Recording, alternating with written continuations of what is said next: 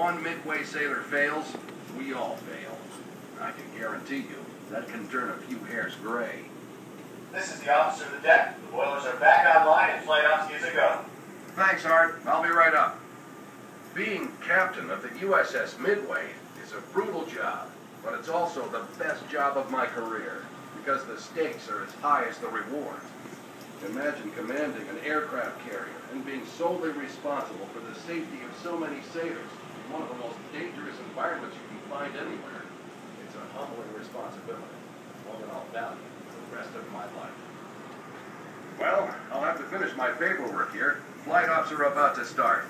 I hope you'll think about the extraordinary dedication of my crew as you continue your tour. They make Midway magic every day. Thanks for coming aboard.